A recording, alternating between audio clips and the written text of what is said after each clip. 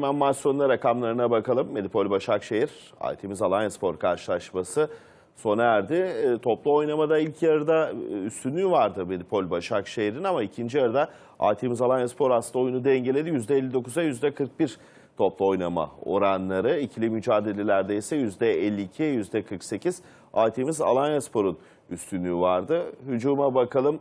11 şut çekti kaleye Medipol Başakşehir. 5'i isabetliydi. 2 gol buldu. Aytemiz Alanyaspor'un 9 şutu vardı. 4'ü isabetliydi ama gol gelmedi. 3 puanda Medipol Başakşehir'in oldu. Aytemiz Alanyaspor'da artık gözler tek hedef Ziraat Türkiye Kupası'na çevrildi diyebiliriz. Evet. Medipol Başakşehir'de e, şampiyonluk iddiasını sürdürdü. Çok önemli bir 3 puan kazandı. Evet, çok önemli bir 3 puan kazandı. Baktığın zaman rakamlara aralarında pek fark gözükmese de e, sonuç itibariyle Başakşehir'in oyun tarzı bu. Yani çok böyle baz- Beşiktaş maçına örnek verelim. Okan Hoca ne dedi? Rakip bizden daha iyi oynadı ama Başakşehir kazandı. Ya Başakşehir'in o istatistiklerine baktığınızda evet çok eşit gözüküyor. Maç sanki 0-0, 1-1 bitmiş gibi bir istatistik. Fakat Mesela pasta değişiyor 420'ye 273. Eldeki malzemeyi çok iyi Kalite. değerlendiren bir Okan Buruk var. Tamamen ikinci yarıda sonuca gitmeyi e, hedefleyen aynı zamanda şampiyonluk yarışında olup da bir yandan da Avrupa'da olan tek takımdan bahsediyoruz. Dolayısıyla e, küçümsenmeyecek bir başarı. Hem hoca başarısı hem takım başarısı. Abdullah Avcı'dan sonra ben böyle bir Başakşehir beklemiyordum açıkçası. Çok geriye giderler diye düşünüyordum ama Okan Buruk bizleri şaşırttı ve şaşırtma devam et- ediyor. Etsin de Okan Hoca'yla da bu konuda e, ben açıkçası gurur duyuyorum. Özellikle Avrupa'daki maçları nedeniyle. Alanya An- Antalya'yla oynuyor değil mi? e, kupada? Evet, kupada Antalya'yı İşte Beşiktaş'ın da böyle bir avantajı var. Yani bir yandan da kupayı düşünüyor Antalya. E, o kafalarda tabii soru işareti yaratır mı bilmiyorum. E, performansı e, düşürür mü onu da bilmiyorum. Ama sonuçta Beşiktaş'ın da böyle bir avantajı var. Rakibinin hafta içerisinde kupa maçı oynayacak olması.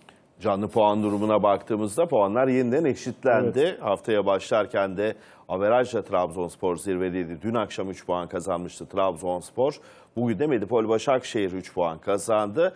56-56 oldu puanlar ama Trabzonspor'un averajının daha iyi olduğunu genel averajını söyleyelim. Galatasaray 50 puanda bir maçı eksik. Ee, Galatasaray'da yarın kazanarak takibini sürdürmek isteyecektir 3 puanlık takibini.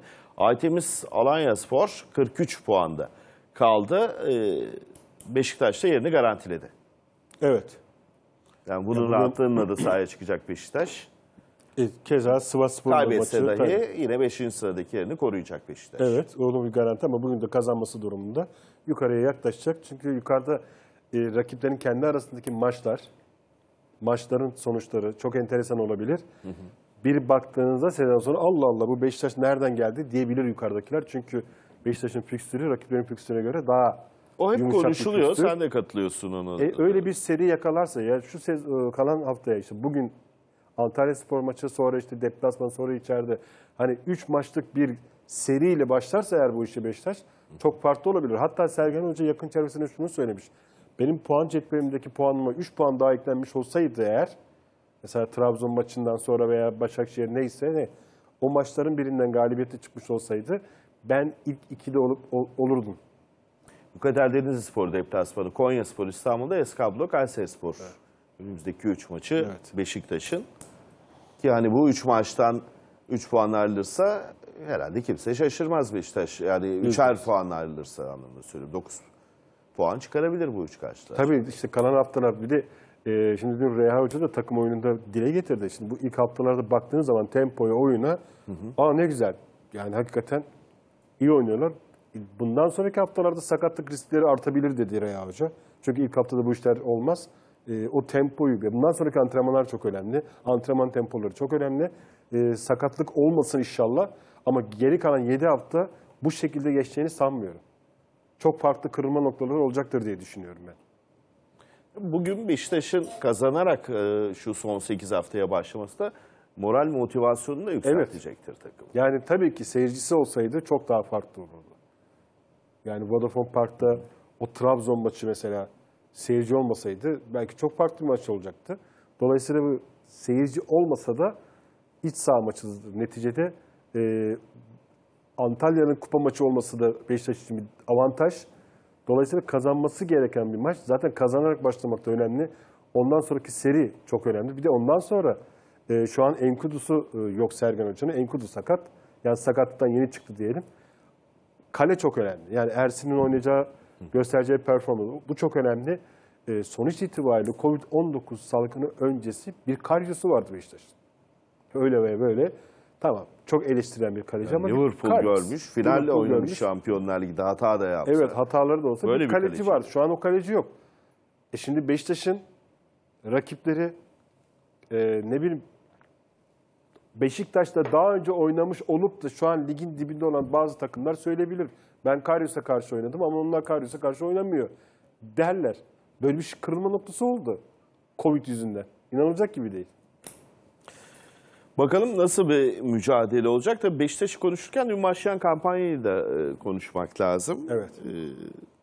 Bütün kulüplerin paraya ihtiyacı var. Beşiktaş en son Fenerbahçe düzenlemişti böyle bir kampanya ki devam ediyor Fenerbahçe'ninki de bildiğim kadarıyla. Ediyor ediyor. Yani Beşiktaş da bir kampanya düzenliyor. Ya inanır mısın şu Covid-19 olayı olmasaydı belki de bu kampanyalar e, önümüzdeki 10 sene içerisinde birkaç kere daha tekrar edecekti gibi geliyor. Çünkü niye? Geçmişten dersler alınmıyor, geçmişten dersler alınmıyor, alınmıyor, alınmıyor maalesef. Şimdi Covid-19 olayı e, yüzümüze tokat gibi vurdu bu gerçeği. E arkadaşlar görüyorsun seyirci yok, o yok. Bir sürü gelirlerden e, gelirlerini kaybetti kulüpler. Geçmişte harcanan paralar, geçmişte alınan oyuncular. İşte demek ki bazı şeylerin değişmesi lazım ama bazı şeyleri değiştirirken geçmişte bunları fırsata çeviren isimler gene bazı şeyleri fırsata çevirecek. Yani dikkat etmek lazım. Artık para yok. Kazanılacak paraları da artık e, borca gidecek. Borç kapatmakla e, geçecek. Başka çareleri yok. Bu bağış kampanyasının kampanyasıyla bu borçlar kapanır mı? Kapanmaz. Ama amaç ne? Şimdi e, sponsorluk anlaşması oldu. Efendime söyleyeyim oyuncularda indirim talebi var. E, işte bu bağış kampanyası. Akabinde transfer döneminde bir veya iki oyuncu sattın mı? Bir tane de sattım. Bonservis bedeli girdi diyelim. O sana işte kalan maçlarda kazanması durumunda, %80'in kazanması durumunda oradan gelecek gelir, yayıncı gelir falan filan. O sana önümüzdeki sezon için biraz nefes aldırır. Sadece önümüzdeki sezon için. Bütün bunları bir araya getirdiğinizde. Ama uzun vadede başka bir planlama yapmanız lazım.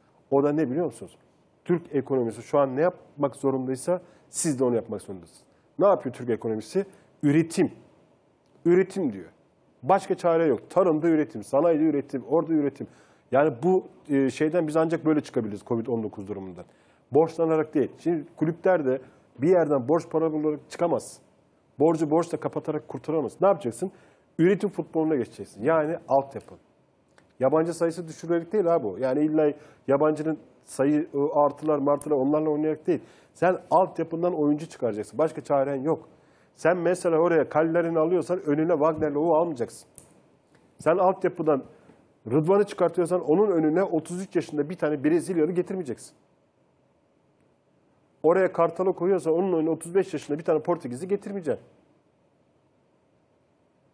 İşte Quaresma geri dönmek istiyor. Açıklama yapıyor. Ben öyle bir şey söylemedim ama menajerleri falan yokluyor. Yani bedava oynayacaksa tamam bir şey diyemem. Jubilesi tamam ama Quaresma örneği mesela yani sadece ismi başka bir isim olsun. Quaresma olduğu için söylemiyorum. Hani sağ açıkta senin genç bir yeteneğin varsa oraya 36 yaşında adam koyma artık. Son derece haklısın. Hani şuna bakalım. U19 milli takım, bu jenerasyonun olduğu milli takım. 8 tane oyuncu gönderiyor Beşiktaş ve hani şampiyonluk yarışında yarıştığı e, dört büyük arasında en iyi durumda olan 19 yaş jenerasyonunda Beşiktaş gibi E gözüküyor. o, bak geçenlerde ben bir kimin röportajını okudum? Bir altyapı maçı, milli maç. E ben o turnuvada Ronaldo'dan fazla gol attım. Bugün Ronaldo var, ben yokum. Öyle bir röportaj okudum. Türk bir futbolcunun. Bizim altyapımız hep böyle. U19, U20, U21 İspanya ile oynuyoruz, Portekiz'le oynuyoruz, İngiltere ile oynuyoruz. Turnuvanın en ileri bizim çocuklar oluyor.